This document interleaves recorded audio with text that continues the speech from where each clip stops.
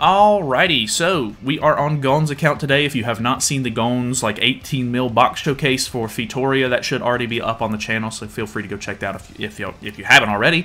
But uh, we're gonna try Glass today. Um, I'm gonna use the exact same team that I used in my 1/6 no paid showcase, just because I want to try to compare and contrast.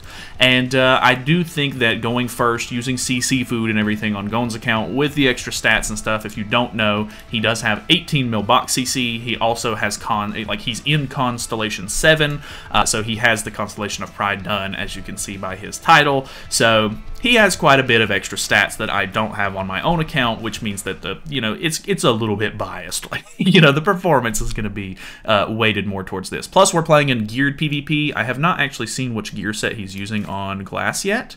Uh, looks like HP defense, which is completely understandable. That's what I did for mine as well.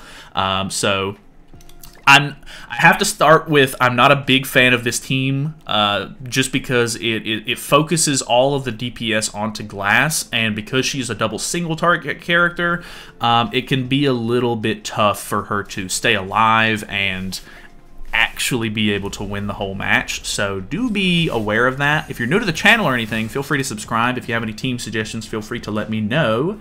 But uh, we're gonna hop into this thing see what we can get into. I'm gonna go with the typical turn one, try to kill off the Gelda right here, turn one if I can. I don't think we're going to have any issues with that.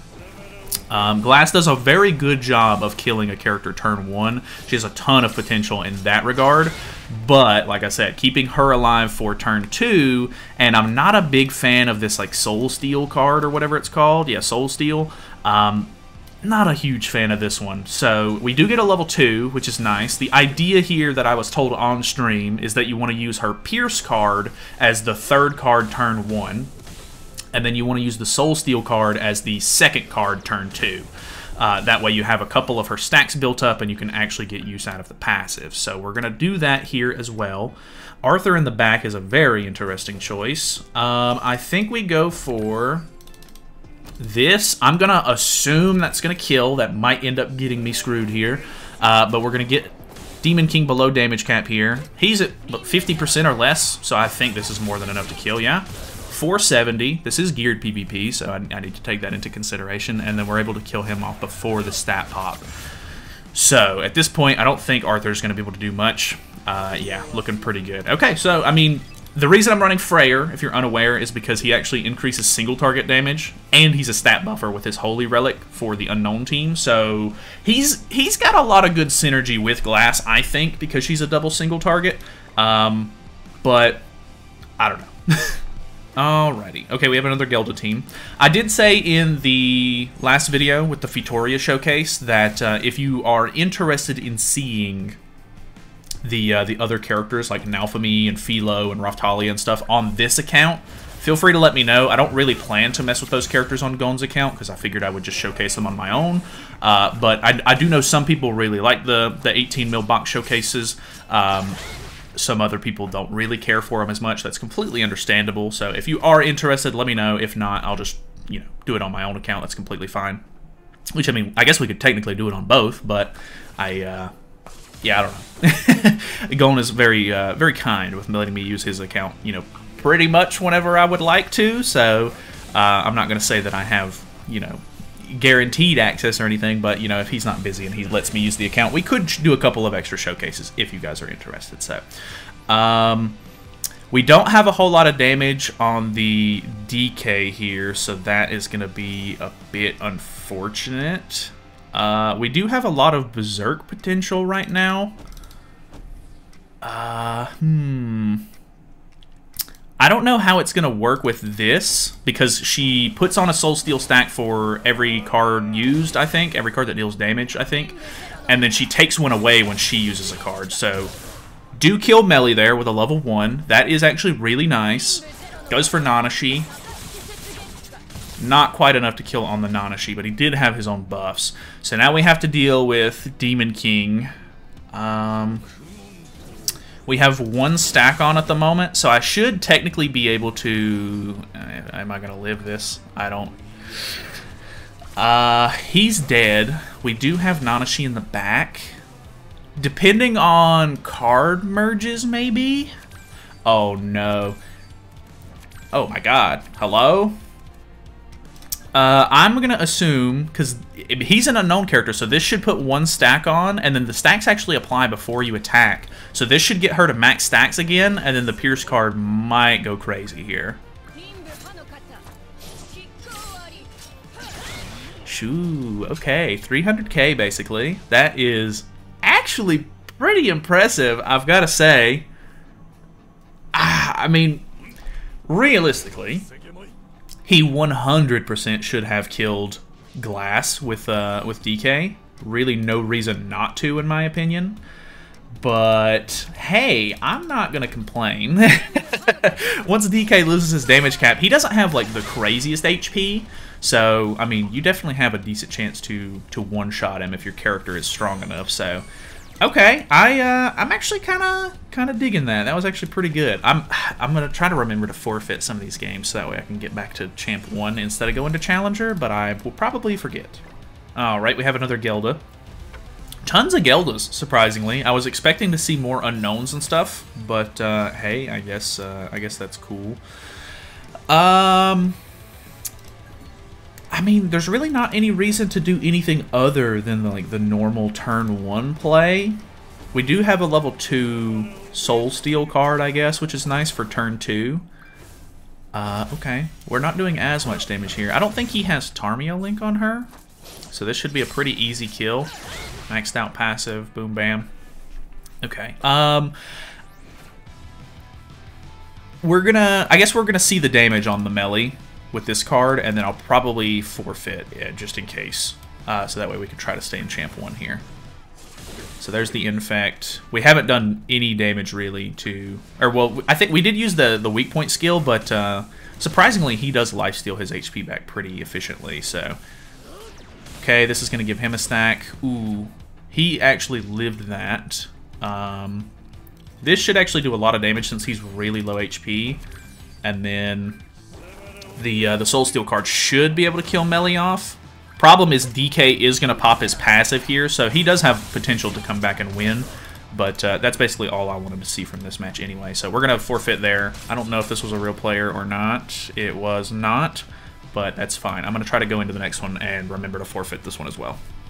Alrighty. Okay, we have like an older Sins team. Or I, say older, but I mean, it's just uh, Green Diane. I don't see Green Diane really at all, so kind of interested to see how this goes. Um, Tarmio Link was on Diane, of course. We do have type advantage. I'm interested to see if we can maybe kill Melee off turn one. He does have True Awakening on his Melee. That looks like enough damage to hopefully kill here, though. So we do this. He's already below half HP. Max out our passive. Snipe. 318 on a crit is pretty good. I do like like I like the idea behind this team. I think that just if you have two DPS characters, like I mean, you could you could say that you know Tyr is a DPS character, of course, but he's uh, I think that there's other other options that would maybe try to take precedent, maybe because although like the bots hate Tyr, um, I feel like I have a hard time. You know, if they're gonna if they're gonna just outright kill Glass, uh, the the odds of me winning against some of these like modern teams is is a lot worse. So I 100% think that if you have like a better better DPS character instead um, to kind of take some of the heat off of Glass, it could be better. We're gonna do this maybe. He didn't put a stance on, so that's I guess good for me. I could have potentially went for a stance cancel, but Hmm, okay. 204, not the greatest. The second one does kill. 207, about the same amount of damage. Um, I am gonna forfeit so that way we stay in champ one just in case because I don't I don't think this was a real player. Definitely not. But uh, we're gonna do a couple more matches and I, I think it's I think it's more likely for us to find real players in champ one than in challenger. All right we have uh, like an older DK team. Okay. I do like Estarossa don't get me wrong but uh, having him on the field not the craziest uh, idea or well I mean I don't know it's okay it's not a bad idea but I think we can go for the snipe on Melly. The problem is, is like she's so single target focused, and this team is so single target focused that I think if we put maybe like Hel or somebody with a little bit more AoE potential, which you're going to lose the single target increase. You're going to lose the basic stats from Tyr's Relic, uh, or Freyr's Relic, sorry. Um, but if you put somebody else here with like a good AoE, I think you have a little bit more potential to like take care of DKs and stuff. Because the the issue here is that because I'm all single target, um, the odds of me killing off like melee turn one and then being able to kill DK off before he pops his passive is a little bit less likely. Um, like we do have good damage, don't get me wrong, but uh, it's definitely not uh, the ideal scenario, I don't think. So we now have to deal with a Melascula, which is a bit unfortunate. I'm going to just try to kill everybody but DK here because he's got the link on and everything. Ooh, Melascula it's pretty hard for her to hold up nowadays, I gotta be honest. We don't have the Pierce increase anymore. Actually, I think we still do have it. Snipe? Ooh, 400k. Actually, quite nice. I mean, Estarossa is a bit older compared to some of these other characters, but, I mean, hey, the, the green type advantage does kind of go hard, so I like that. Okay, level 2 on Tyr. Ooh, actually survives that. Kind of insane. Um, I'm going to merge these use one card that I know isn't going to kill, and then try to go with a big, big single target here. This actually, hmm, I don't know if that was the best play or not. I think I was supposed to use the the level 2 before the other card, actually, because the, the when I did it like that, it got rid of all of my soul steals, and that card does more damage per soul steal, so I actually screwed that up, so a bit unfortunate. But I do get to see the ultimate now, so that's something. This, I think, maxes out my soul steals. Uh, yeah, at 6-6, you do get three soul steal stacks, so that is uh, that is going to help a bit. I don't imagine he would be able to tank this regardless, though. Okay. A bit disappointed. Okay. Okay. I think... I'm not 100% sure because it all plays out on the same turn. I would assume that the way that that worked was it gave me three soul steals. It immediately takes all three of them off and gives me the pierce rate increase and stuff from the passive. And then when I go to use the soul steal card, it puts one stack on and then removes it because of the the way that her passive works to use that card. I'm not 100% sure on that, but I mean, it did some pretty good damage, the single target card did. The ultimate, I'm a little let down on, but I guess it is what it is. That's, uh, I don't know. She, she's, she's definitely not Fitoria. It's really hard to compare because they're so different, but, um, she's I think she's going to fall into the category where she's just a little too specific with the way you need to use her cards.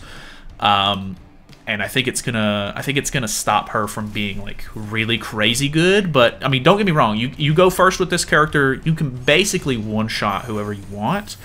Um, it just depends. I think I think that there's like more experimenting need, needing to be done with like the team you want to use her on. Like I, I definitely don't think this is the ideal team, even though it does synergize kind of well with her kit because you do get the crit resistance lower from Tyr, which is nice. You get the stats and the, uh, the single target damage from Freyr's Relic, which is nice. But her being the lone DPS is what I hate the most. So, ooh, okay. Level 3 here could go crazy. Um, so we can just throw this uh, Freyr card out, gain one stack, throw the level 3 out. Pretty much no problem. He should have two stacks of his passive here might actually attack with melee last here and gain a third stack from having the seeds on him. Okay, he does. Doesn't kill, which is good for me. So he now has three stacks. He's in like the best tanking position here. And I still think we're going to be able to do enough damage, hopefully, to kill. Um, I guess we throw this out because we, we, we might as well try to take advantage of some of the Berserk from the, the Tyr passive here. Okay, 500k, and that's with three stacks, so that's a bunch of defense related that he has, so that's pretty good. And then he has damage cap still, uh, and I think that's hitting damage cap, of course, so nice. At this point, no DPS for him to come back with, and I think we're basically chilling. I'm going to use the Oh, that's a delete card actually, so never mind. Uh, I was gonna say I'll, I'll use the uh, the ultimate here, but Not quite. Um, I'll actually pop the passive again here. That actually might snipe pretty hard. Let's see that. So this pops the passive, crit chance increase, pierce rate increase. 645. Now, she's incredibly old, and he didn't have his buffs on, so, you know, that's a little bit weighted, but overall, not bad. Uh, let's do, like, one more. Alright, we have a Sins team. Ooh, really good CC. Okay. Uh, we get a level 2 Soul Steal card, which is kind of nice. I think we kill Gowther here. We have type disadvantage, but killing Gowther, get, getting rid of the rank up and stuff, actually should be quite nice. So we'll get some extra damage out here. Melly's gonna, like, because we have Tyr on the team, he's always gonna have debuffs to cleanse anyway. So getting rid of Gowther, stopping the rank up should help a little bit. He'll gain two stacks here. Uh, Bong has taken a little bit of damage. Problem is, ooh, okay, he's running an ult rush comp actually with Green Merlin in the back. Dude, he had he had 424 KCC or uh, was it 324? Was I mistaken there? He had I think he had really high CC and that was with Green Merlin in the back.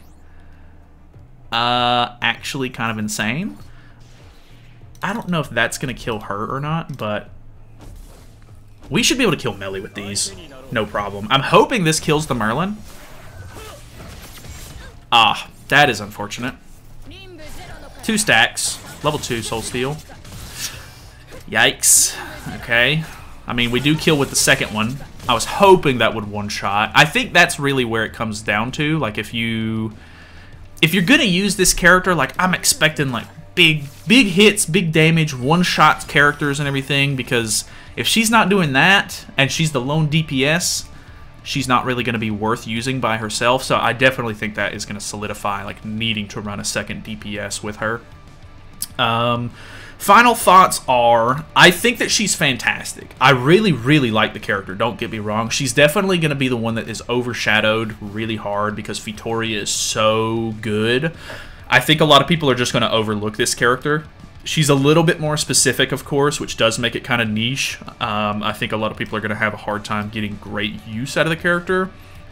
So I think that she's going to unfortunately kind of like fall behind as far as like popularity goes with this new collab, but I still think that she's really cool. I like the idea behind her. I I know a lot of people really wanted her to have at least one AOE, uh, but to be honest, I like the double single target. It's just you know, it, it, has its pros and cons for sure. So a little bit specific. Um, I don't know. I, I, definitely want to find a better team. If you have an interesting team that you're using her on or getting good results with, feel free to let me know. I definitely want to try it out. I think that uh, I think that we could find a better team to sort of accentuate her her usability a little bit. So um, either way, that is pretty much it for me. Thank you guys so much for watching. Hopefully you guys enjoyed it. Shout out to Golden for letting me use this account, of course. Like I said in the beginning, if you have any team suggestions or if you want to see me uh, showcase the older uh, collab characters on Golden's account, feel free to let me know. Leave them down in the comments or anything.